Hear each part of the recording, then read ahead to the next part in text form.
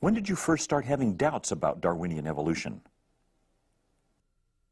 Well, I believed Darwinian evolution all through high school and college and graduate school because my instructors told me Darwinian evolution was true. And as a biochemist studying biochemical systems, you come across a lot of complicated cellular machinery. And sometimes you, I would look at it and would give me pause, but again, my instructors told me Darwinian processes produce these things, and, and they must have known what they were talking about. And uh, so I took their word for it, but it really didn't have much to do with my day-to-day -day work as a, as a scientist. But then uh, when I was an associate professor at Lehigh in the late 80s, I read a book named Evolution, a Theory in Crisis by an Australian biochemist by the name of Michael Denton.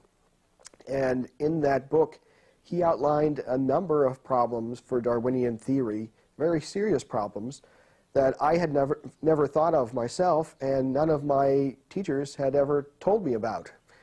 And at that point, I got mad. I thought I was being led down the, the garden path and nobody was pointing out these obvious difficulties and I was starting to wonder why. And so from that point on, I, I became very interested in, in evolution.